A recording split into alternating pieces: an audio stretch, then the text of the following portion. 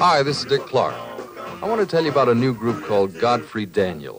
Hey, don't make it bad. They sing the new songs like the old songs. By the time we got to Woodstock, we were half a million strong. Like it's still the 1950s in the 1970s.